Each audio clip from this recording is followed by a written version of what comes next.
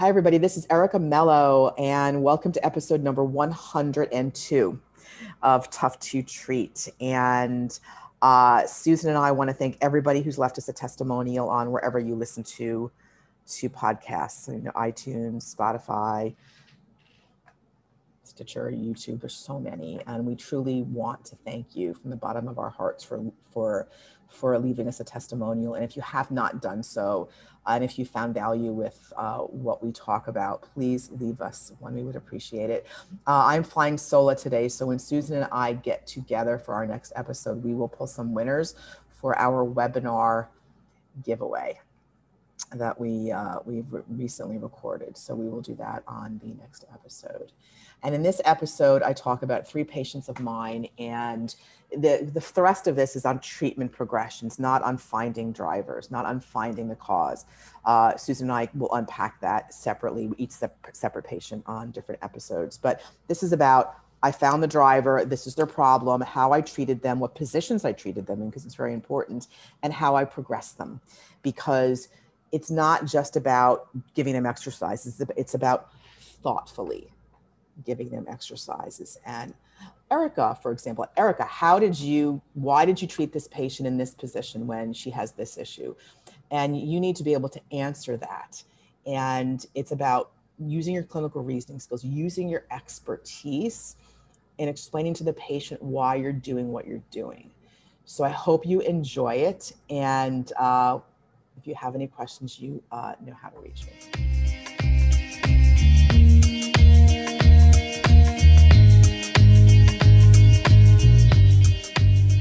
Hey, everybody, this is Erica Meloe, and welcome to episode number 102 of Tough to Treat. And as I mentioned in the intro, I'm going to be discussing a few patients of mine, uh, multi treatment progression. Um, Susan and I can unpack the assessment at a later date on, on an- another, another episode. So, patient number one is a female who came to see me with complaints of bilateral foot and calf pain one side wasn't worse than the other. It was basically uh, just gripping in the calves, gripping in the feet, and pain. Worse with with long long walks and lying at in supine positioning at the end of the day when she went to bed. Um, she had a an habitual gait pattern uh, from when she was younger, where she really walked very far forward, almost like with her weight on her toes. And so when I assessed her, the most glaring thing I saw was that her center of mass was so far forward, and I mean obvious, with a little bit of an anterior tilt, such a significant anterior translation of her thorax. And you know, no surprise, right? Anybody who has that, their position, the position so far forward on their toes or on the balls of their feet, their posterior chain's gonna fire like crazy, right? Just to prevent them from, from falling over. So in my uh, assessment, I determined that her driver was in her thorax or her primary driver, as we say. And, you know, are we thinking posterior compartment syndrome? Yes, probably. That's what we want to call impairment or or pain generator. Uh, but her driver was certainly not in in her lower quarter, or her primary issue was not. Um, it was how she was positioning herself and it made sense with her story.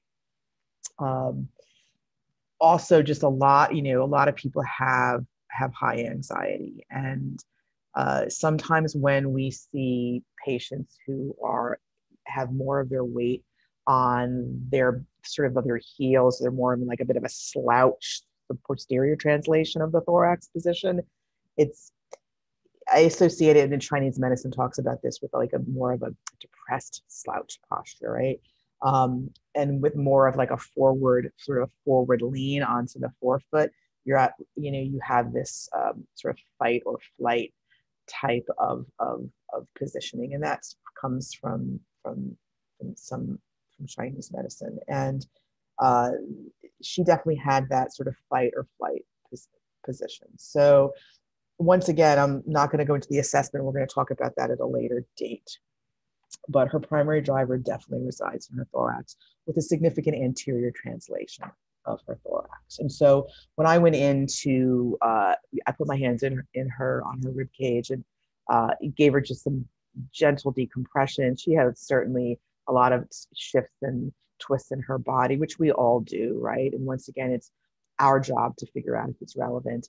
I gave her a little decompression and gave her some novel input into her trunk, into the thorax. All of a sudden, you could feel her weight going back, like centering. And, you know, I don't like to spend a ton of time on the posture unless the person has problems standing.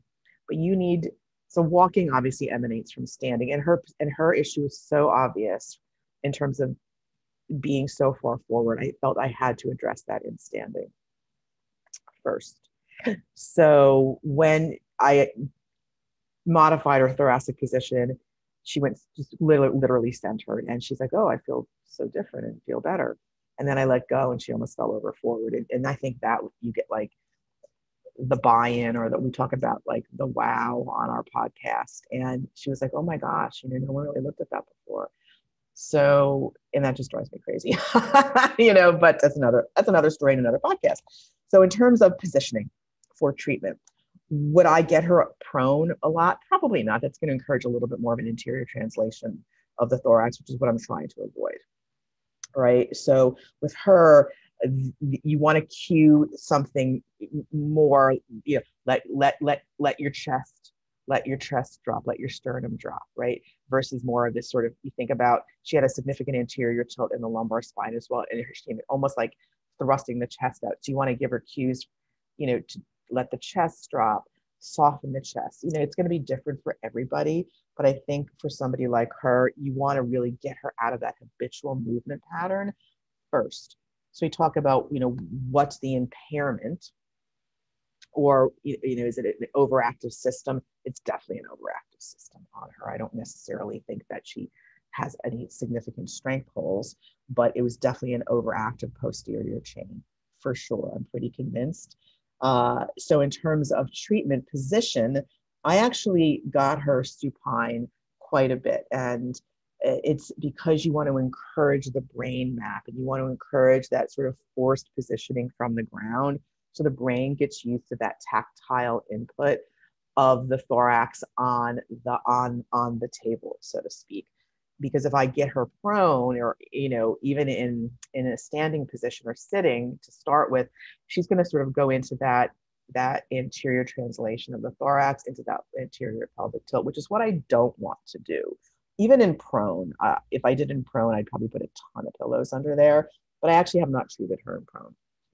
So I, uh, in, in a supine position, I have, I do a lot of, uh, you know release of of some of the muscles in in you know in in the front of her chest just just for more novel input. So i'll put my hands you know up on her up on her upper ribs and i'll have her just do some breathing uh, with her arms. So i have her arms straight up in the air and i'll have her just do some you know overhead shoulder flexion.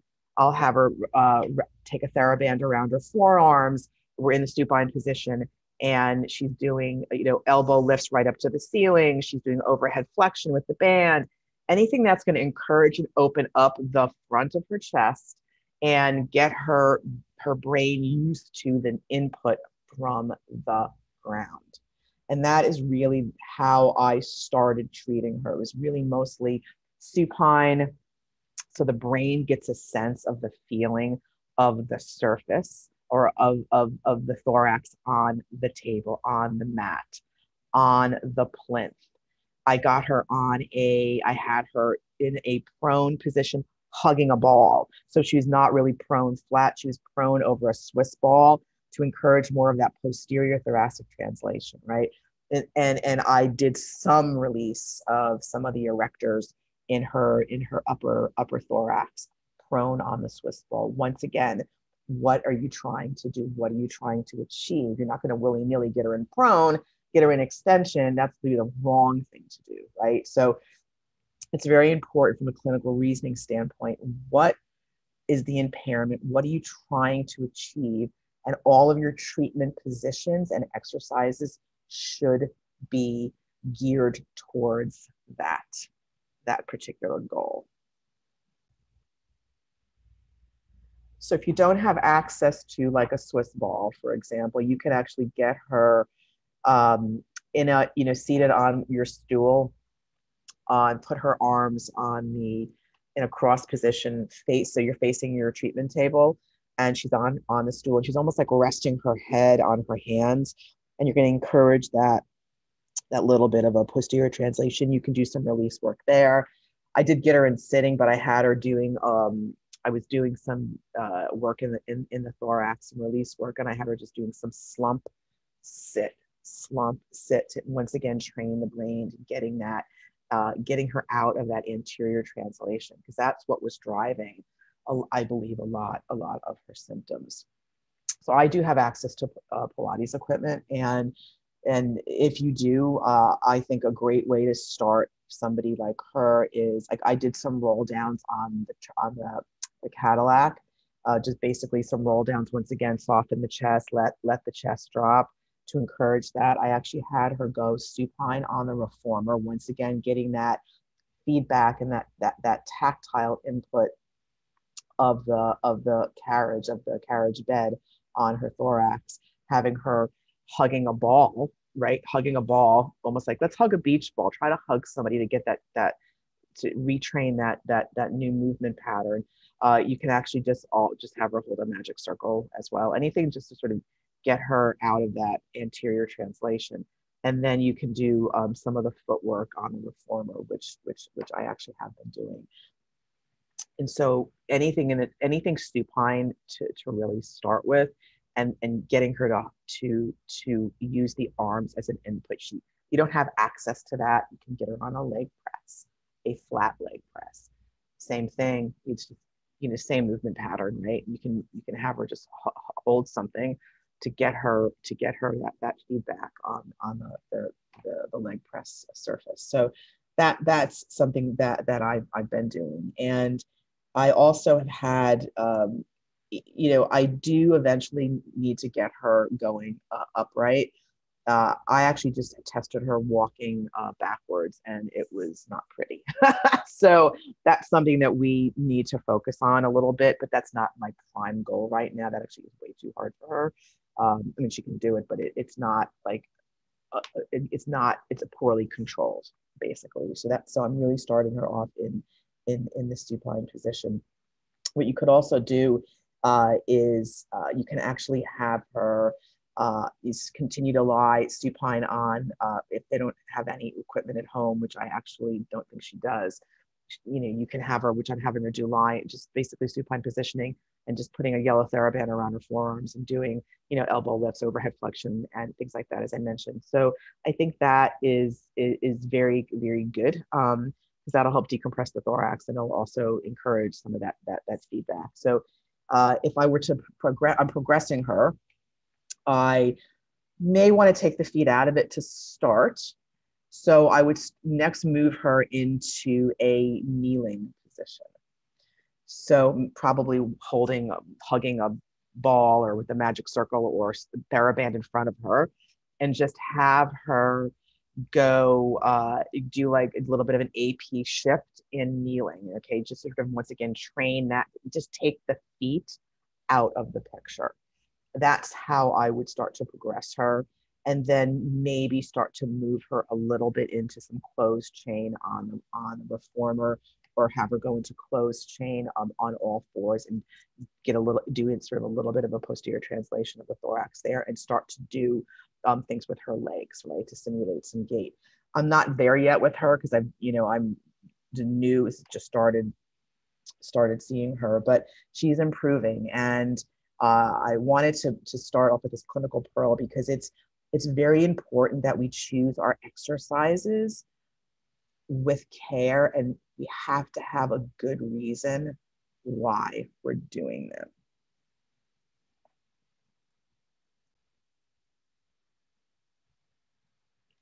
my next patient is a woman who had uh, significant shoulder pain with primarily uh, putting her hand behind her back, you know, to, to go up and sort of scratch her mid back and at end range flexion. But her main issue primarily was, uh, and initially was, you know, I can't get my hand behind my back, Erica. You know, it's pretty sore. So uh, once again, Susan and I can unpack this. We have not done a podcast on on any of these patients I'm talking about right now, so we will unpack these at at greater greater length on a later episode. Her driver, her primary driver, was her upper C spine, and it, it, she didn't have a lot of issues in her shoulder in terms of, um, you know, objective findings. She, it definitely was her pain generator for sure. I mean, that's where the, the symptoms were but her driver was is her upper neck. She had a lot of neck neck issues in her history. So once again, think about your patient's past movement history, past injuries. Those were once again high on a priority list to assess. And I knew she had issues in her neck. She told me. So with her, the main issue was an overactive superficial system of her of, of mostly of her of her posterior posterior chain in her neck right? So did she have weak deep neck flexors? Did she have you know weak multifidi in her neck? Not really. It was just an overactivity. So that's the impairment right? It's an overactivity. So every time she put her hand behind her back she would hike up her scapula her her you, you would see the overactive levator overactive cervical multifidus. You could see it so, and uh, once again, I'll, the assessment will be in a later episode, but in terms of treatment for her, okay, so yes, her hand behind the back was her meaningful movement. Her that was her her main complaint movement wise. Her driver was in her upper C spine, like her COC1. It wasn't like C6, It was up in her neck. She had a lot of tone there. Um, so when I went in and similar to the first patient I discussed, I went and I just modified her movement. I, I, I, I, ended up doing some little decompression on, uh, in, you know, in, in, inhibiting basically for those of you who do some of the visceral work, I inhibited uh, some of the, uh, the levator and some of the other superficial muscles and her hand behind the back was almost normal. And, but obviously that's temporary. and I was explaining that to her, it's temporary, we need to train. So from a treatment perspective, which is what these clinical pearls are, are directed uh, directed towards. I did a lot of release, and I don't do a ton of release in the neck and prone.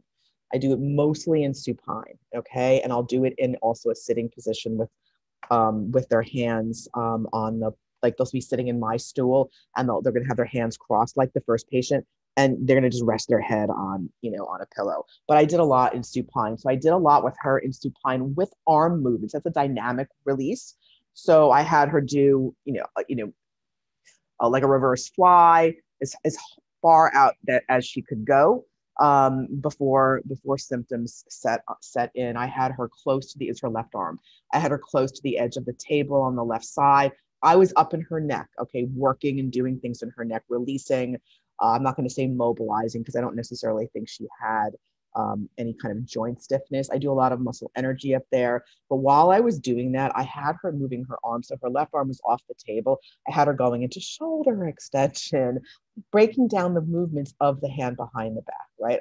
I had her literally uh, having her uh, getting her back centered on the table, had her do some internal rotation. That, of course, that was limited, right? While I was working on her neck. So I did a lot of of, of treatment of her driver while I was moving her, while she was moving her arm. Okay. Bearing in mind that the impairment that I wanted to correct was an overactive superficial system.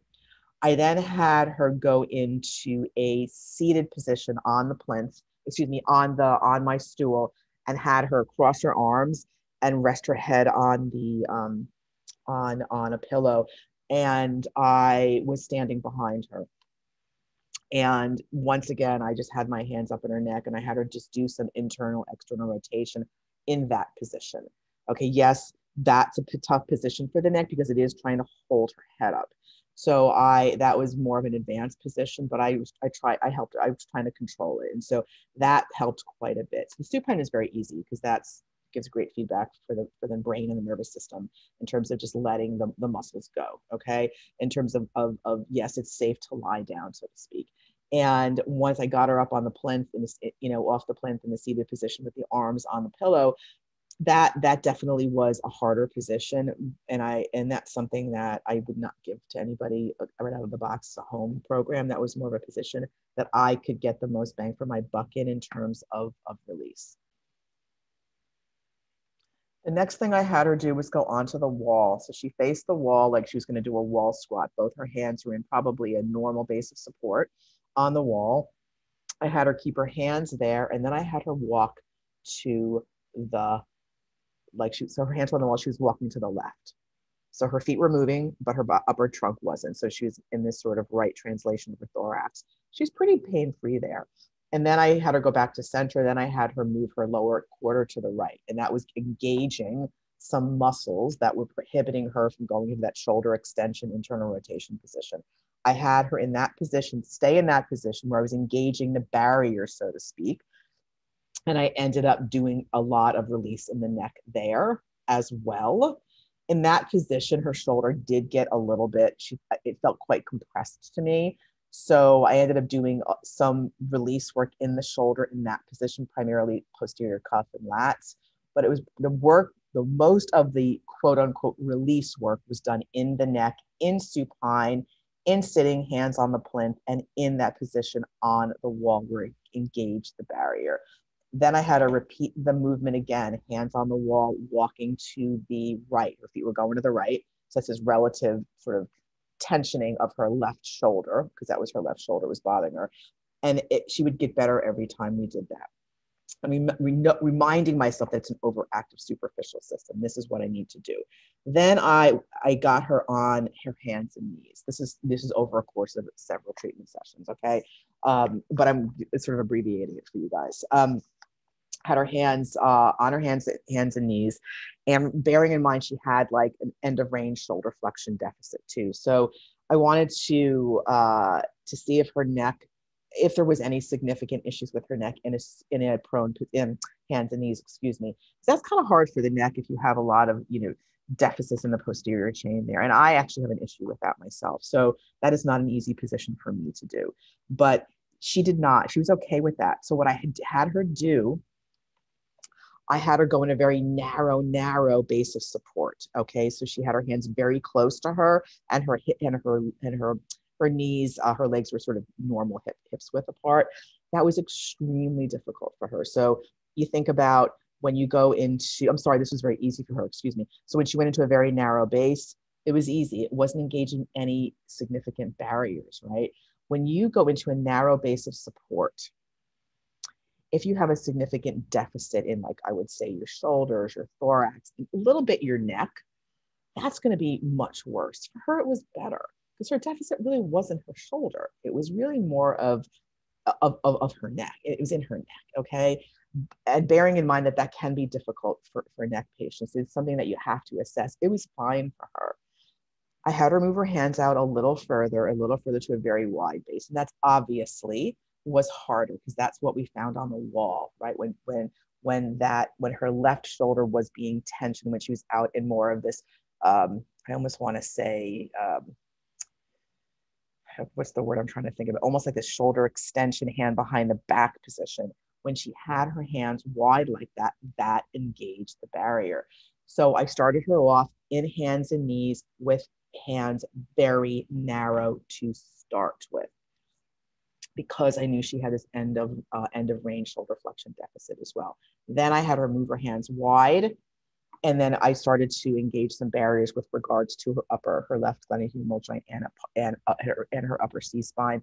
That's when it started. She started to feel the, the tensioning and and um, and, and and and like almost like the restriction there. And so I gave her some cues for her neck. Uh, you know, imagine your, your neck is long. Imagine you've got um, a hook in between your like we sort of like a guy wire like or a hook cue in between your vertebrae that's making you long it's lengthening you and that did help her. So just once again remember the i'm trying to get her in a position to get her hand behind her back better. Not every shoulder patient needs cuff strengthening not every shoulder patient needs anterior deltoid strengthening although that is a big strength hole. She did not. I then had i had her on the cadillac and you can do this with a TheraBand behind her back as well. But I had her in a kneeling position with the um, with the bar behind her, so she was in shoulder extension. Okay. And then what I had her do is she was facing away from the bar. And then I had her do some almost like some um, kneeling slump positions that would really get her into shoulder extension, right? So I did a lot of that with cueing of her neck, imagining her her neck being long. So that's what I started her off with. Those are the past, you know, I would say first few sessions. And then I ended up doing um, some work on the Cadillac, doing, um, you know, basically putting her hand, lying supine on the Cadillac and just having her push her hands straight up almost like doing a, a, a, a bench press with her hands very wide because that was her deficit. Just remember what's the deficit, what's the impairment. And she that that was the issue with her whenever her hands were wide whenever she had any kind of extension in her shoulder internal rotation that really bothered her, her, her quite a bit i also did do some release work in her neck in the supine position when she was pushing up with the bar. Okay, so as your patient gets to higher load activities, you may need to do some dynamic work or dynamic release in those positions versus just lying on their back doing nothing, you know, or just or more passive, right? So I think as the patient gets better and as they start to progress their program, you're going to want to get them in positions that engage the more you're going to get them obviously harder exercise for progressions and they will engage different barriers that you have not addressed in your initial sessions because you haven't had them do the exercises yet. So with her i was very mindful of her neck. Bearing in mind though she didn't have a strength deficit there so it was really just putting her in positions that didn't cause the those muscles to become overactive hands and knees was challenging a bit at first, although I said it was easier for her. It may be challenging for other patients. So that would be hard for a neck, but neck driver, so to speak. But that was okay for her. So uh, she actually is doing well and uh, uh, pr- doing pretty okay with this. And so once again, I wanted to give her as an example because she was more of the overactive, superficial, still posterior chain, ironically, but in a very, very different way than my um, first patient. This patient was much more of a, I wanted to show you that just because she has a deficit in her hand behind her back and it is a shoulder problem, her driver wasn't there. Her exercise progression certainly did not focus on the shoulder exercises per se. This last patient uh, came to see me, he's a, a, male in his early 30s with bilateral upper extremity and bilateral lower extremity pain. Uh, I actually have a bunch of people with bilateral issues. It's uh, crazy, but he had bilateral hand pain and bilateral uh, leg pain below the knee. So he was, uh, cycling was a major uh, issue for him in terms of symptom uh, symptom progression. So, I mean, sitting was was tough, uh, but it was really worse on the bike. And so he's a road bike. So one of the clinical pearls, and I think if you've listened to other episodes of the podcast, we look at center of mass and standing, right? Normal, narrow, wide. But with somebody on a bike, you need to get them, especially with the positioning on the road bike, their hands are very narrow. Okay. And like with my past, my prior patient with the shoulder problem, she was okay narrow on her hands and knees and okay narrow on the wall. Her shoulder wasn't her driver, right? He was not okay. So I had him. So to make a long story short, and once again, we'll do a podcast on him. Uh, you think about the bike, right? It's very hard for someone who has shoulder or thoracic dysfunction. It doesn't have to be painful but it, it you ha- you may have a non-painful dysfunction there and it's affecting your hands uh, it affected more of his hands than his uh, his legs on on the bike and he's clipped in right? Uh, so be a much more of a narrower stance and so you need to assess the patient in a narrow stance. If someone came in to see me you know uh, who had you know unilateral and they still were on the bike and the bike made them worse i would do the same thing just so happens his was bilateral. Um, you know, what's the pain generator? Is it a facet? Is it neural tension? Is it coming from the cervical spine? Is it coming from the thoracic spine? I, you know, it, through my assessment, I determined that his thorax was his primary driver, and he had a, a lot of vectors we call muscles or components. He had definitely a dural component, uh, a neural system component to his to his problem, right? So was his ultimately it's the nervous system, right? At the end of the day, but it, with him, it was how he was positioning on the bike, right? So I had him on the wall and I had him go wide, and he looked pretty good. Of course, he's going to look great. A lot of people look good wide, with the exception of my last patient, right? So he was uh, he looked okay, and I took a lot of pictures uh, as well.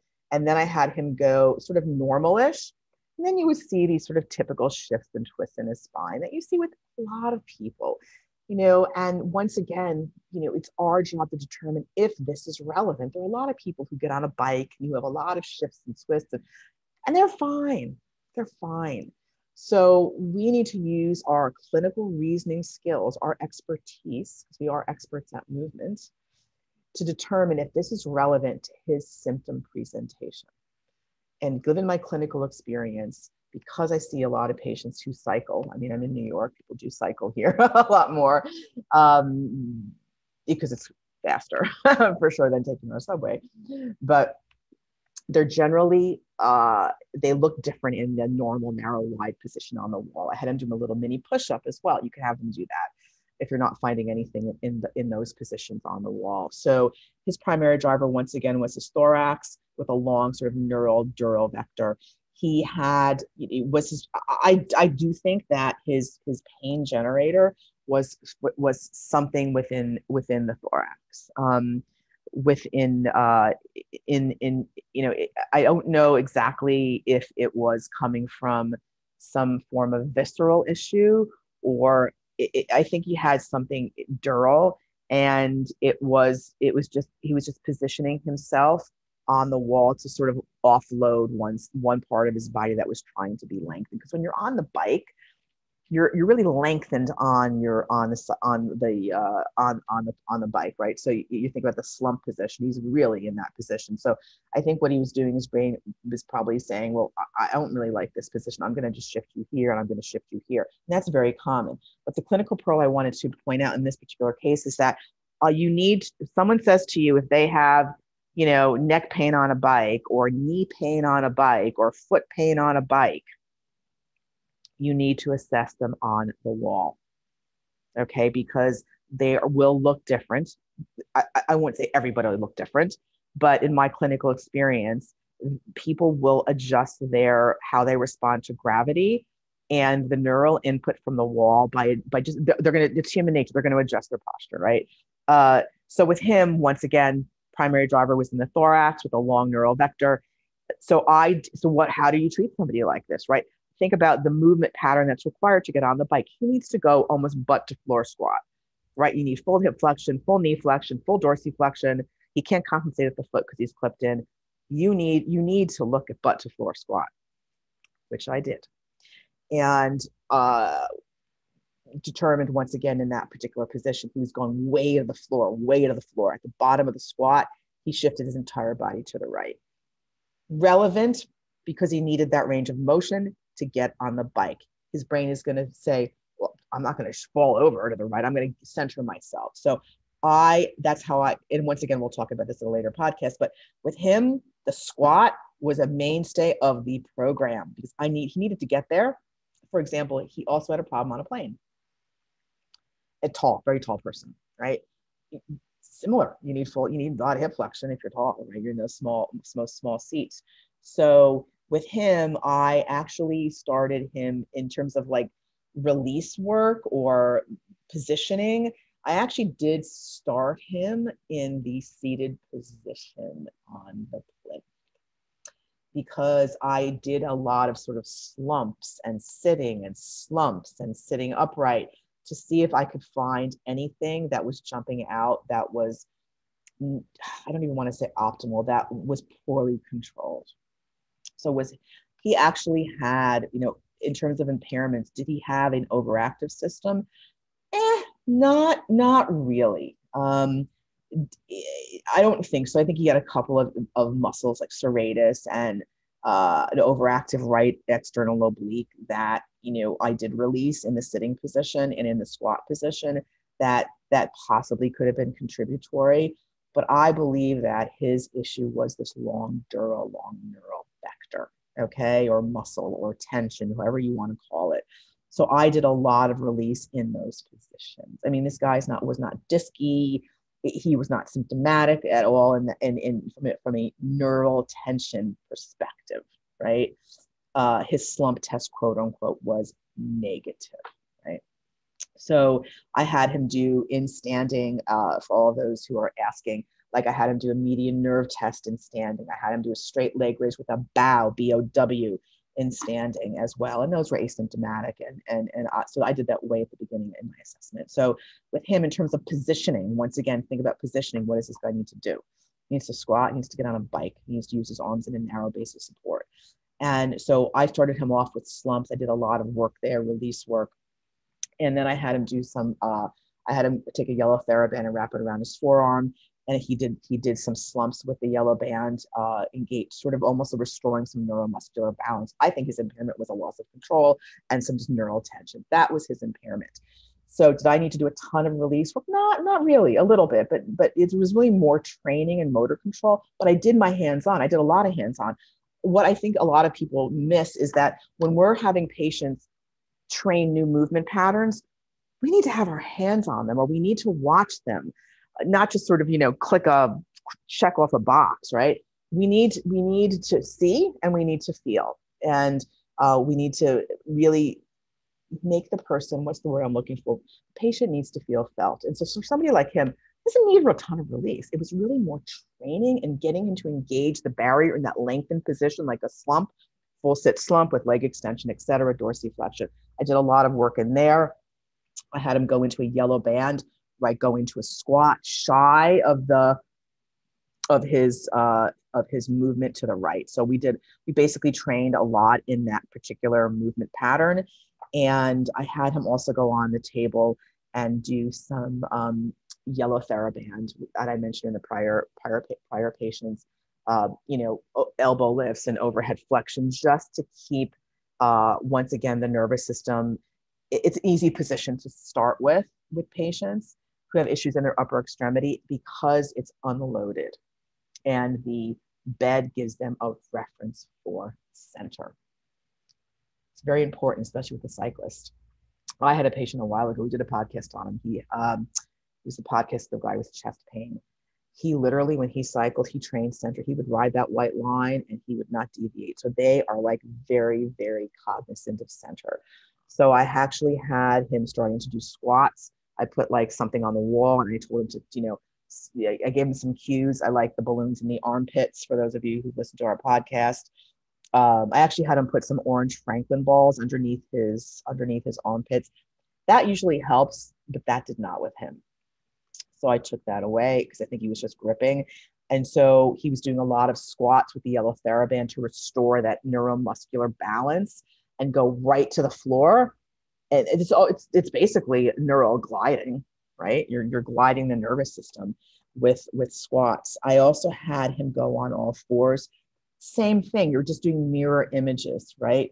Yellow band with the slumps, yellow band with the squat, going on all fours, rocking back doing some um, i had him do uh, i had a yellow TheraBand wrapped around his forearms in the all fours position as well. These are just mirror images of the of the uh, of of the same movement. And so once again you're training the brain you're trying to give the patient a different movement pattern.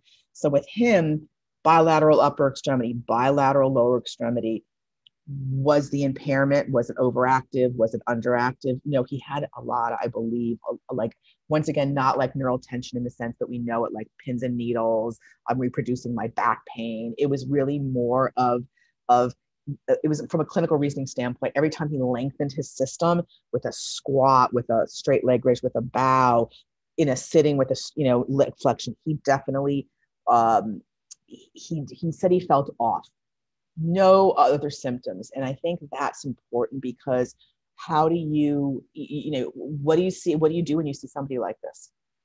Right. So the treatment progression has to be clinically reasoned through.